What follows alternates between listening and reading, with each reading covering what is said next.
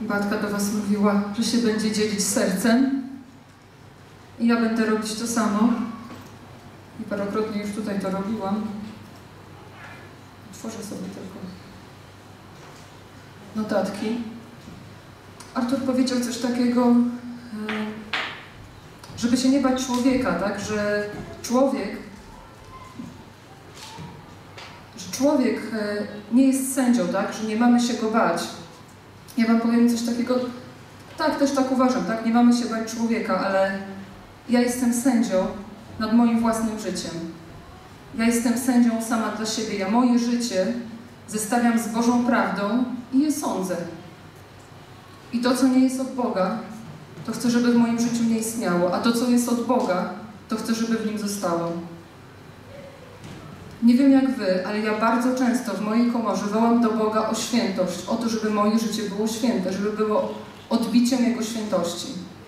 O wiele częściej niż o inne rzeczy. O wiele częściej niż o to, żebym chodziła w darach, czy żeby, żebym robiła inne wielkie rzeczy. Wołam o świętość, żeby była odbiciem Jego chwały.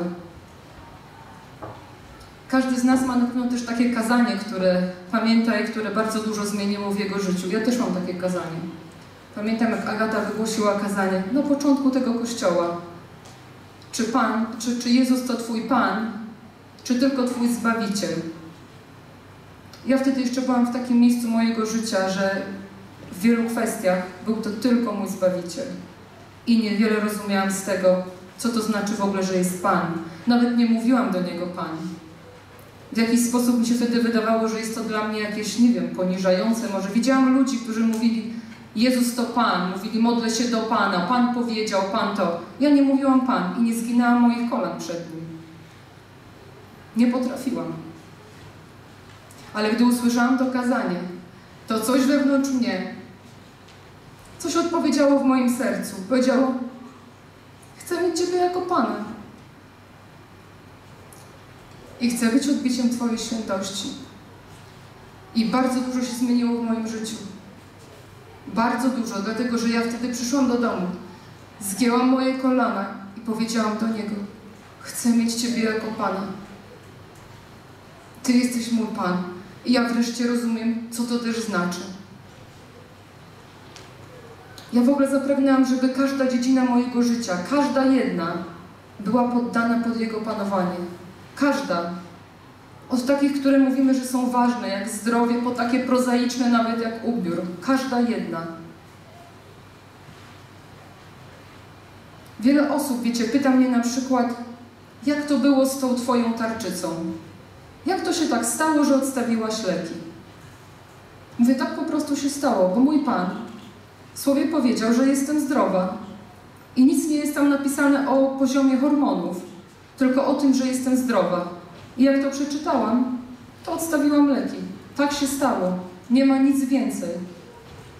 I nieważne, co mówiło moje ciało, i nieważne, co mówili do mnie ludzie, i nieważne, jakie widziałam objawy. Powiedziałam, jestem zdrowa, bo Pan powiedział, a ja chciałam każdą dziedzinę mojego życia poddać pod Jego panowanie. Miesiąc temu mówiłam, i Wam to mówiłam i na ewangelizacji, że miałam kiedyś guza w piersi. Miesiąc temu, jak mieliśmy tutaj zjazd całego kościoła, pamiętam, jak wszyscy poszli spać, nocowaliśmy bardzo dużo ludzi. Ja ogarniałam jeszcze dom, zamykałam na dole okna i przypadkiem, tak samo jak kiedyś znalazłam guza, dotknęłam w tym samym miejscu piersi. Przypadkiem. Nie badałam piersi. I w tym samym miejscu był guz. Tylko pięć razy większy niż ten, którego znalazłam kiedyś. Stanęłam przy tym oknie.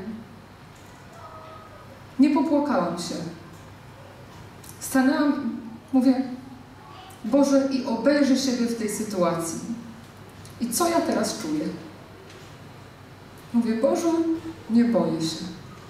Tak jak wtedy, te 5 czy 6 lat temu, gdy znalazłam guza w piersi, był malutki, się popłakałam i się jeszcze przestraszyłam. Myślę, jestem mamą, mam dwoje dzieci, dzieci są małe. Tak teraz, gdy znalazłam tego guza, nie było we mnie, we mnie w ogóle lęku. Mówię, Ty jesteś mój Pan. Nie jest to nic strasznego dla mnie, tak? Ani nic się nie wydarzyło, I nic się nie zmieniło, ani we mnie, ani w mojej relacji z Tobą. Poszłam tylko na górę do mojego męża, była pierwsza w nocy, obudziłam go, bo spał. Mówię, zbudź się ze mną w modlitwie, że to znika. Mój mąż się obrócił, coś tam powiedział przez sen, obrócił się na drugi bok i poszedł spać. To była cała jego reakcja. Nigdy więcej nie porozmawiał ze mną na ten temat. Nigdy. A ja sobie powiedziałam, że nie dotknę tego miejsca przez następny miesiąc. Pojechaliśmy na wakacje. Wypoczęliśmy, był super czas.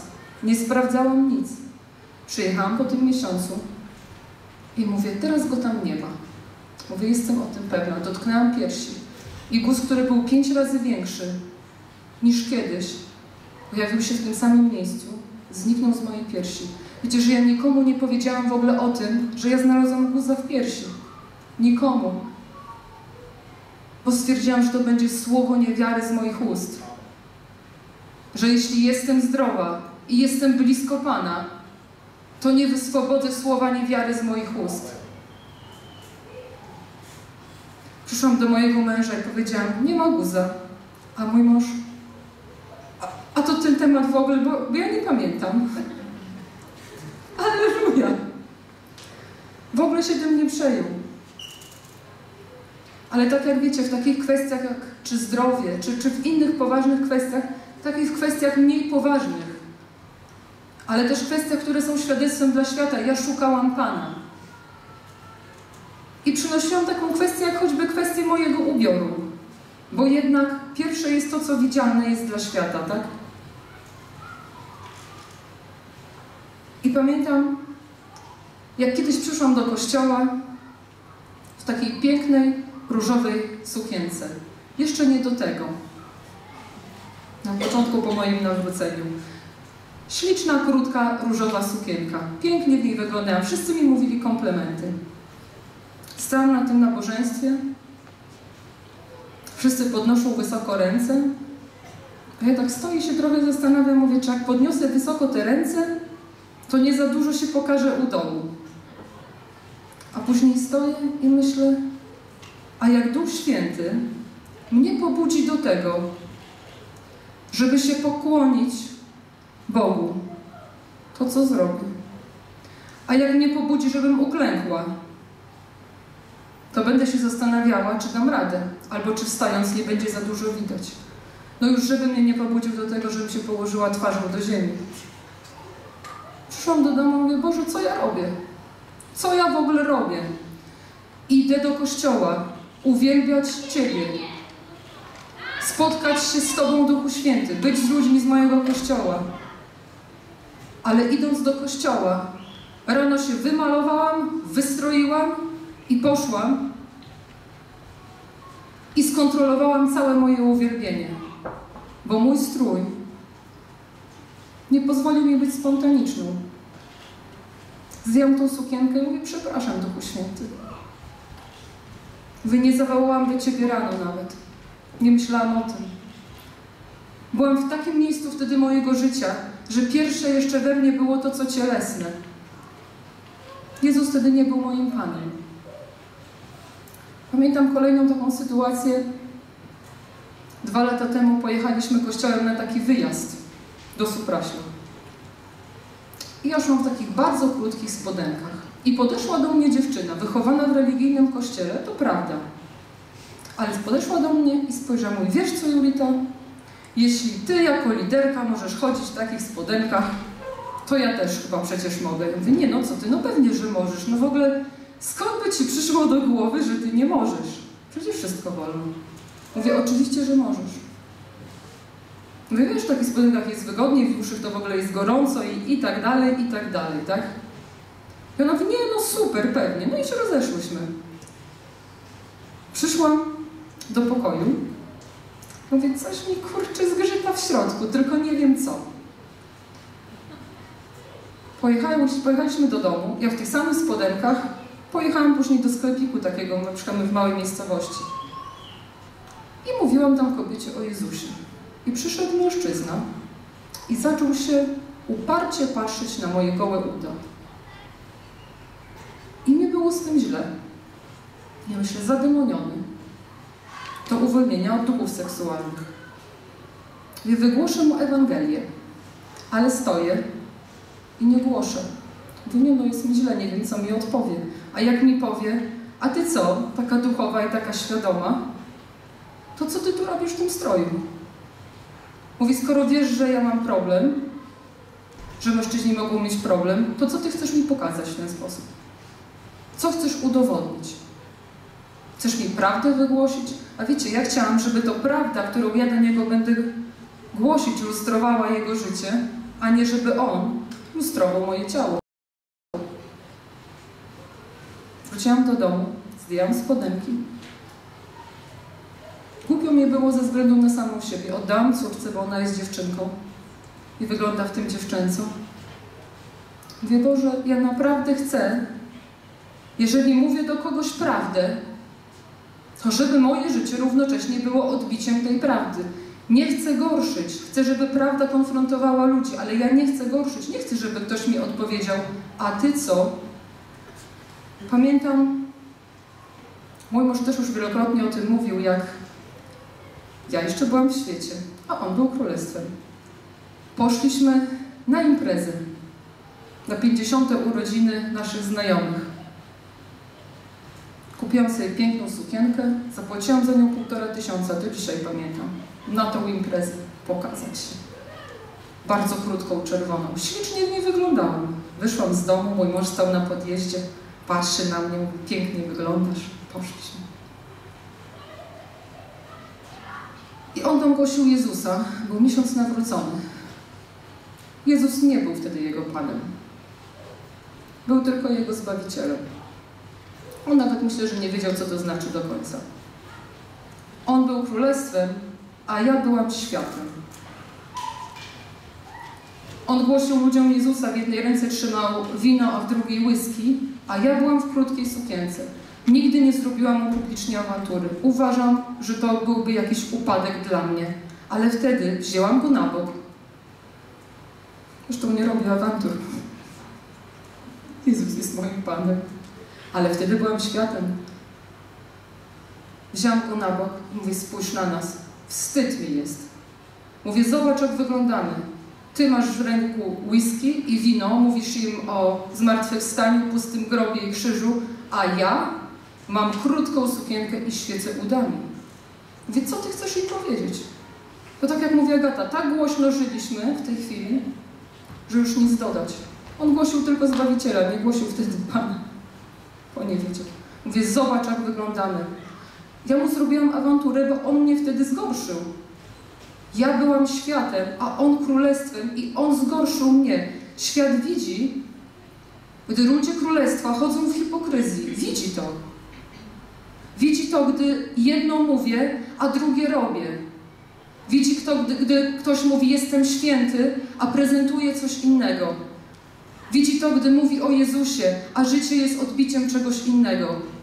I on wtedy nie zgorszył. I ja mu to powiedziałam. Mówię, zobacz na nas. Mówię, mi jest wstyd. Wiecie, gdybym dzisiaj wyszła w domu w tej, z domu w tej sukience, a on stałby na podjeździe, to by powiedział do mnie, kobieto, idź się przebrać. W ogóle, co chcesz pokazać? Ale ja wtedy byłam światem i ja chciałam się podobać wszystkim. Chciałam, żeby ludzie mi mówili, że ładnie wyglądam. Chciałam, żeby patrzyli na mnie, żeby odwracali swoje oczy. Zresztą, jak wychodziłam, mój mąż pewnie też się cieszył, że żona będzie ładnie wyglądała, bo tak myśli świat. Ale później w mojej Biblii przeczytałam, że wszetecznica chce się podobać wszystkim. Taka była prawda o mnie, tak? To wcale nie chodziło o to, czy ja miałam zdradzać męża, czy nie. To chodziło o miejsce w moim sercu, komu ja się chciałam podobać, ale wtedy byłam światem. I ja jako świat, słysząc Ewangelię, którą on głosi, Duch Święty zaczął mnie przekonywać o grzechu.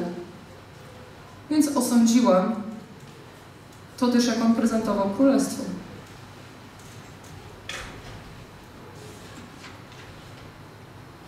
Pamiętam jedną z pierwszych konferencji dla kobiet tutaj w kościele, jak Agata stanęła i powiedziała tak, dlatego, że Jezus jest mój Pan, nie ubiorę się tak, nie zrobię tak. Nie wszystkim się to wtedy też podobało, ale mi zapadło głęboko w pamięć. Bo ja wiem, jak ja żyłam w świecie i wiem, o co mi chodziło i komu się chciałam podobać.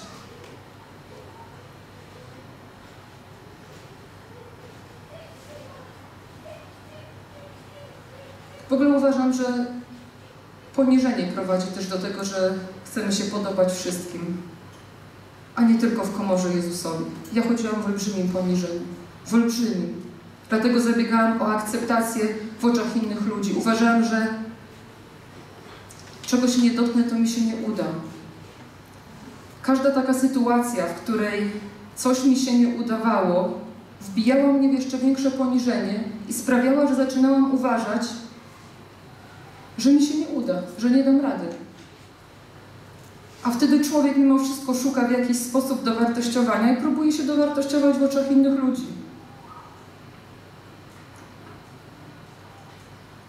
Uważam też, że poniżenie stoi kontra przyjęciu panowania Jezusa. Ja mam takie przynajmniej doświadczenie gdzieś ze sobą.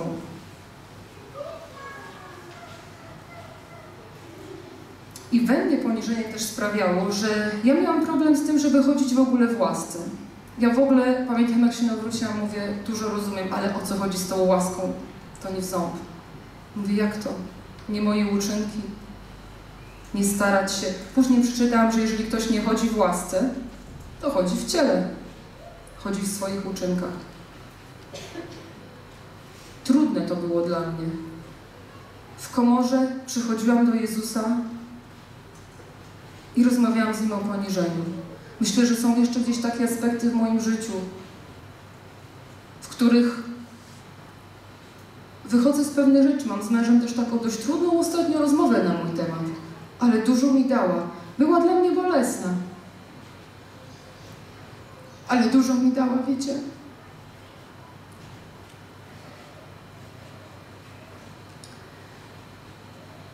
Powiem Wam tylko o takich dwóch świadectwach moich ostatnich, gdzie ja musiałam uwierzyć w to, że naprawdę chodzę w tej łasce, tak? Mieliśmy z mężem taką ewangelizację na ulicy. Jeszcze przed Wielkanocą. Jechałam na tę ewangelizację, a Bóg do mnie mówi, dzisiaj im zaśpiewasz. Super. Tylko, że ja nie śpiewam. Mówię, Boże, ale jak? Mówię, nawet wiesz co? Mówię, wiem co. Ja śpiewam im o zmartwychwstaniu. Ale mówię, Boże, ja nie śpiewam. W kościele śpiewa Agata, ja nie mam szkolonego głosu. W ogóle wiecie, moje ciało mówi wszystko to samo, co mówi normalnie do każdego, tak? A tyle będzie ludzi, a to się nagrywa na kamerę, wszyscy to zobaczą. Stoję na ulicy, zaczynamy ewangelizację. Modlę się, bo Bóg mi kiedyś powiedział, módl się zanim zamkniesz ewangelizację. Ludzie na ulicy w ogóle nie wiedzą, co to znaczy się modlić. Ja też nie wiedziałam, zanim się narodziłam z Bożego Ducha. Modlę się, złożyłam swoje świadectwo, stoję z tym mikrofonem, stoję i słyszę, zaśpiewaj im teraz. Dalej mówię, dalej walczę. W ogóle zwalczam tą myśl, tak? I w pewnym momencie mówię, dobrze, wszystko mogę w Tobie. I zaśpiewałam tym ludziom. Ludzie na przejściu się obrócili i zaczęli słuchać, bo to, co im zaśpiewałam, było słowem do nich. Mój mąż patrzy, patrzy, płacze za kamerą. Posłuchałam w ogóle Boga, uwierzyłam w to, że w Nim mogę wykonać rzecz, która dla mnie była trudna dla mojego ciała. Wykonać w ogóle coś, co mi się wydawało, że jest w pewnym sensie ponad moje siły. Pamiętam ostatnio na wakacjach, jak się nauczyłam pływać.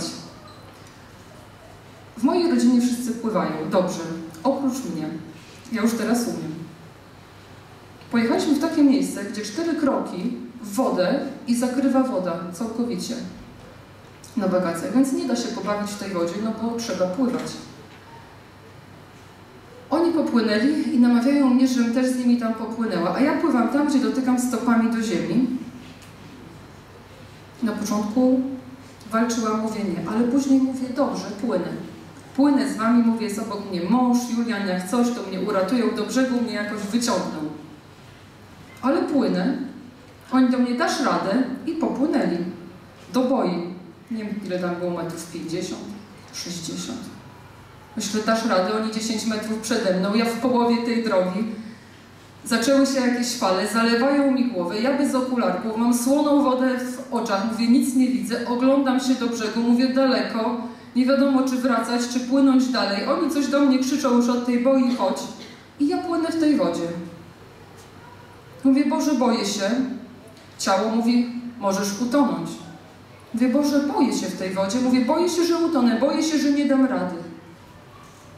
I w tym momencie, a że pojechałam na wakacje i rozważałam cały czas tam łaskę. Co jeszcze mogę w Jezusie? W tym momencie Duch Święty do mnie powiedział, mówi, ale przecież wszystko we mnie możesz.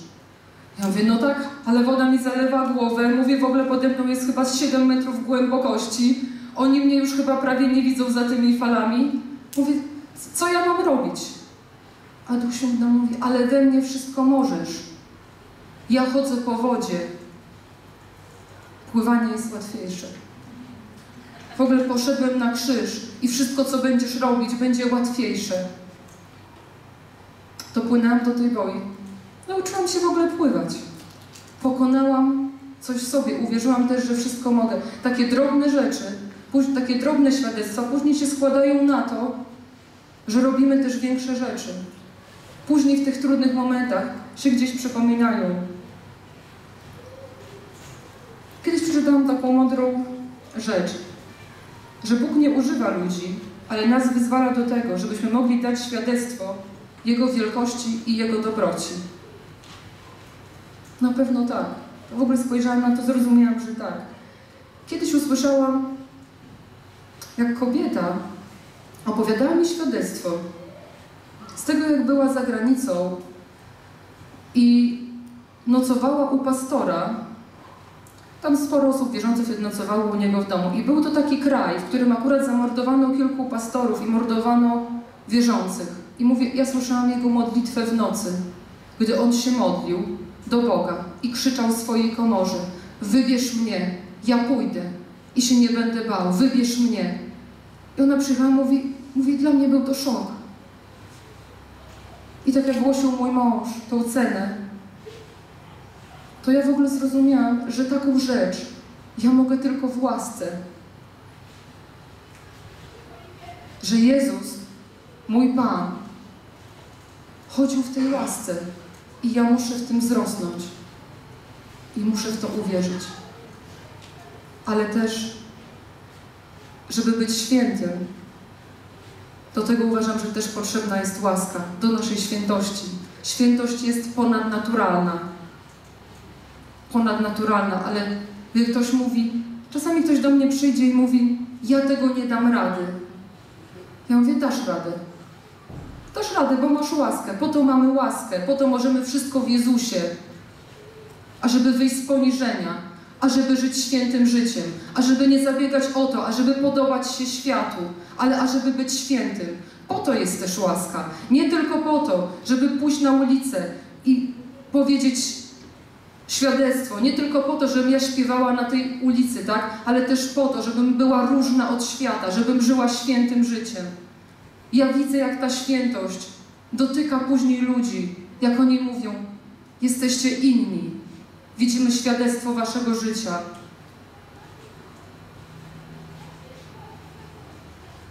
Powiem jeszcze jedną taką rzecz, która też jest dla mnie bardzo ważna. Ja wiem, że Jezus żył życiem, którym był wdzięczny Bogu. Ja uważam, że człowiek święty to człowiek wdzięczny Bogu. Wdzięczny za to wszystko, co w jego życiu zrobił Bóg. Kiedyś przeczytałam takie zdanie, że wdzięczność uzdrawia nasz mózg. I były tu kiedyś takie warsztaty. Prowadziła jedna dziewczyna, która jest trenerem, coachem personalnym. Powiedziała, zróbcie takie ćwiczenie. Zamknijcie oczy i pomyślcie, za co jesteście wdzięczni Bogu. No ja zrobiłam to ćwiczenie. I później otworzyłam oczy, ona powiedziała, i co czujesz w środku? I ja poczułam olbrzymie ciepło, które rozlewa się w moim wnętrzu i idzie gdzieś wysoko, który daje mi radość, pokój i siłę. Ja kiedyś nie żyłam wdzięcznym życiem. Mówiłam wam, jak powiedziałam do mojego męża, kochany, czy często za mnie dziękujesz Bogu? On powiedział tak. Ja mówię, to dobrze, bo ja za ciebie rzadko. Ale wiecie, takie rzeczy mnie pionowały. Pokazywały mi, że coś jest nie tak w moim życiu. Że coś jest nie tak. Że chcę ciągle więcej się nachapać, ale w ogóle nie ma we mnie wdzięczności. Nie potrafię dziękować za to, co już w moim życiu się stało. Gdy zaczęłam dziękować Bogu za to, jak duże rzeczy zrobił w moim życiu, to Jego, to, to przychodziła do mnie świadomość wielkości Boga. Łatwiej mi było walczyć z tym wszystkim, co przychodziło. Łatwiej mi było iść do przodu. Kiedyś przeczytałam takie mądre zdanie, że dlaczego nam się wydaje, że Dawid pokonał Goliata? Otóż Goliat był wielki, straszny i potężny, a Dawid prawdopodobnie drobny i mały. I ten ktoś napisał, ponieważ Dawid z Goliatem nie zestawił siebie, ale zestawił Boga. Wielkiego Boga. I dlatego wygrał. I uważam, że wdzięczność prowadzi nas do tego, że widzimy wielkość naszego Boga. Spójrz, jak wielkie rzeczy w Twoim życiu uczynił już Bóg a z odwagą będziesz patrzył do przodu. Gdy pojechaliśmy do tej Czarnogóry na wakacje, drugiego dnia strasznie zaczął mnie boleć ząb. Strasznie. Nie czułam czegoś takiego. I u dołu, i u góry. Promieniował mi do ucha, do gardła, gdzieś do góry, do nosa, do oka i mówię, normalnie chyba nie wiem, zaraz mówię, zastanawiam się, mówię, wsiąść w samolot, wrócić, coś zrobić, ale mówię, Boże, rozważam Twoją łaskę. Rozważam Twoją moc. Nie poddam się. I zaczęłam zanurzać się w Boga. Siedziałam i rozmyślałam o tym, jak On jest potężny, jak jest wielki. Ilekroć o tym rozmyślałam, jak wielki jest mój Bóg, czułam, jak fizycznie ze mnie odchodzi ból. Czułam, jak fizycznie odpływa to ode mnie. I przychodził moment, że Michał na przykład mówił, chodź do wody, albo dzieci, mamo, i czułam, jak w tym momencie z nieba spadam na ziemię, jak rzeczywistość ziemi wyrywa mnie z rzeczywistości nieba. Rozważałam wielkość Boga, rozważałam moją, moją wdzięczność i odchodził ode mnie w ogóle ból. I byłam jakby w innym miejscu. To mi w ogóle pokazywało, jak bardzo ważna jest wdzięczność. Jak bardzo ważne jest, żebyśmy żyli wdzięcznym sercem. Ja naprawdę wiele różnych pytań przynosiłam Bogu. Przynosiłam pytanie, jak to jest z tą władzą? Jak to jest nawet z tym, że mój mąż jest moją głową? Jest to też rodzaj autorytetu dla mnie i władzy.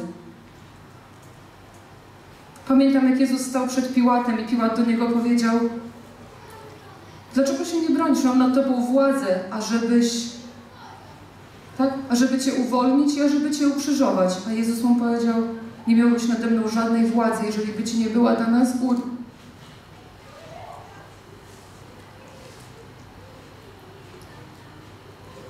Pamiętam takie proste słowa, a tak wypionowały moje serce. Mówię, Boże, każdy lider, każdy pastor i też mój mąż jest w tym miejscu dlatego, że Ty go tam postawiłeś. A ja muszę ćwiczyć moje serce w byciu poddanym. Ale to nie dlatego jestem poddaną żoną mojemu mężowi, że w słowie jest napisane żony bądźcie uległe. On by mógł mnie mówić różne rzeczy, a mogłoby mnie to nie prowadzić do posłuszeństwa, gdybym nie widziała tego że jego postawa świadczy o tym, że Jezus jest jego Panem.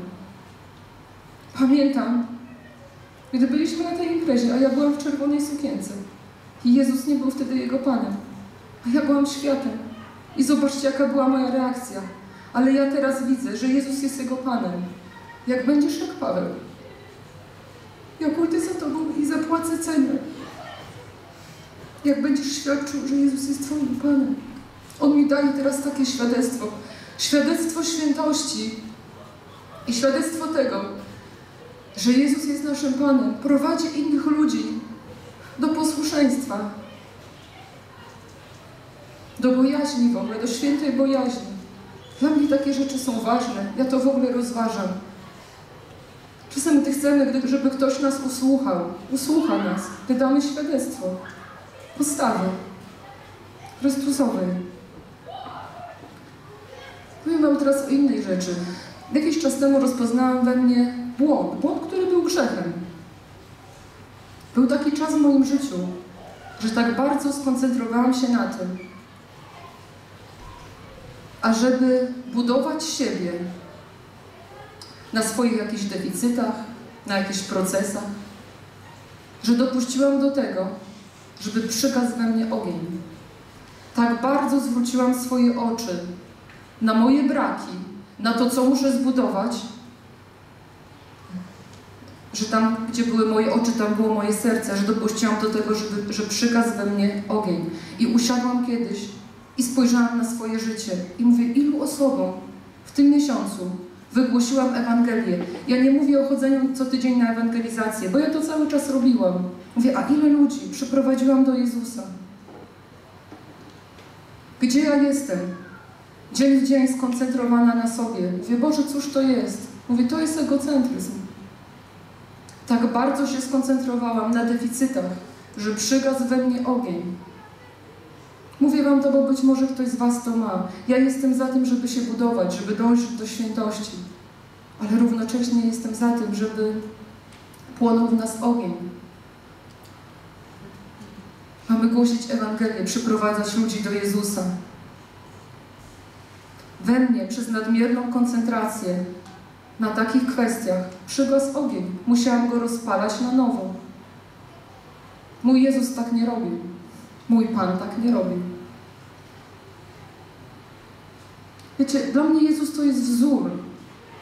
Jak ja widzę, że Jezus miał komorę, jak widzę, że chodził na osobność, jak widzę, że chodził na górę, jak widzę, że obchodził jezioro, a jego uczniowie popłynęli, to ja wiem, że on miał komorę.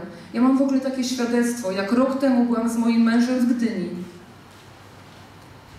I on szedł do pracy, byliśmy tam poniedziałek, wtorek, środa. On szedł do pracy, a ja zostawałam w pokoju, naszym skromnym, malutkim pokoju. Można mi mówił, jedź może nad morze, poleż sobie na piasku, odpocznij. Ja mówię, nie, ja zostanę w tym pokoju. Mówię, bo ja tam zostawałam z moją Biblią. I ja tam miałam czas z Bogiem.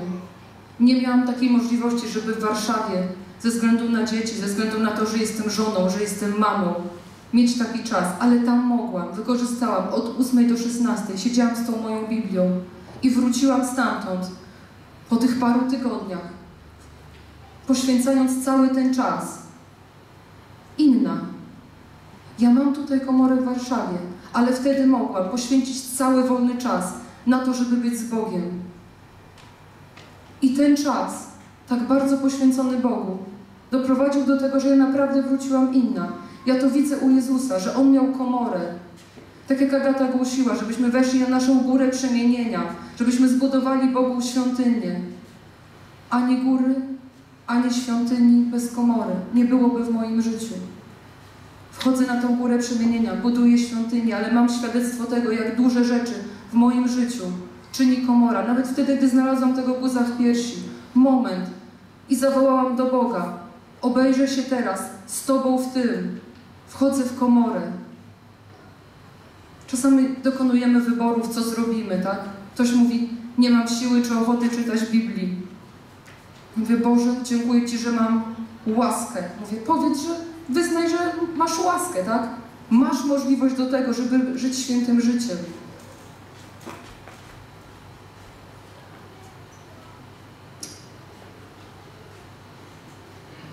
Wiem też, że musimy wiedzieć, o co się modlimy, bo można się pomodlić o niewłaściwe rzeczy w niewłaściwym czasie. Musimy wiedzieć, kim jesteśmy, kiedy jest ten nasz czas. Pamiętam, jak z mężem modliliśmy się o to, ażeby... Ja wiem, że zawsze przychodzi odpowiedź na modlitwę. Nie zawsze ona jest taka, jak czasami sobie projektujemy. ale to jest odpowiedź od Boga. Pamiętam, jak modliliśmy się z mężem, żeby upadły w naszym życiu, żeby zamknęły się te rzeczy, które nie są od Boga. I w tym czasie mój mąż zaczął ograniczać swoją działalność, bo miał zostać szefem w jednej firmie. Tydzień przed finalizacją okazało się, że odpowiedź jest od Boga inna, bo my się modliliśmy, żeby zamknęły się rzeczy, które nie są od Niego. To się zamknęło. Zostaliśmy bez pieniędzy przez trzy miesiące. Ale modliliśmy się dalej do Boga, tak? Nie mam takiego doświadczenia, żebym nie dostała od Boga odpowiedzi na modlitwę. Zawsze dostałam. Ilekroć wniosłam pytanie, ilekroć do Niego zawołałam, ilekroć powiedziałam, teraz będę sądzić mnie, zawsze miałam odpowiedź. Zawsze miałam, nie zawsze mi się podobało, ale zawsze miałam. Chcę Wam tylko powiedzieć jeszcze jedną rzecz. Rozważałam z Bogiem też to, czy ja kocham mój lokalny kościół. Jezus kochał tych ludzi, z którymi żył i tych ludzi, z którymi chodził. Zaczęłam, mówię, Boże, czy ja tak szczerze i głęboko kocham tych ludzi? Czy ja kocham lokalny kościół? Czy on jest dla mnie ważny? Zaczęłam się zastanawiać, co robię. Jestem w grupie sprzątającej, sprzątamy toalety, sprzątamy kościół. Mówię, co ja robię w domu, tak? W domu sprzątam, piorę, gotuję. Mówię, to jest także mój dom, więc robię to także tutaj w domu. Sprzątam, żebyście mieli czysto, żebyście mogli wejść do toalety i żeby wam pachniało. Bo to jest mój dom. Robię to nie dlatego, że mam dyżur w grupie sprzątającej, tylko to jest mój dom. Nie mam dylematu, czy to trzeba robić, czy nie. Pamiętam, jak przyszłam do Ani zimą i mówię, Ania, nie wiem, czy będę mogła sprzątać we środy, bo mam dzieci, wracam do domu, jest 12, a oni nie śpią, a rano na 8 stają do szkoły. Mówię, nie wiem, czy nie trzeba kogoś dobrać do grupy, żeby we środę mógł mnie zastąpić. Ania do mnie powiedziała, nie, nie martw się, dam radę. Ja mówię, wiesz, dużo ludzi odchodzi z tych grup sprzątających. Mówię, od nas też. Ania do mnie powiedziała, ja się z tego nigdy nie wycofam. Mówię, to jest bardzo ważne i dużo mnie uczy. Wiecie, mi to zaimponowało wtedy. Ale ostatnio, idąc w Gdańsku z Basią, z Gdańska, szłam i tak rozmyślałam o tym, jak głęboko kocham ludzi.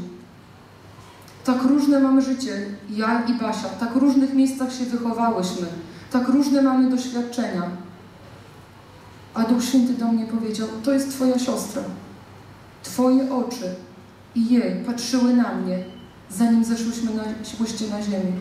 I będziecie razem oglądały mnie, gdy skończy się to, co się nazywa dzisiaj. I dla mnie to było bardzo dużo.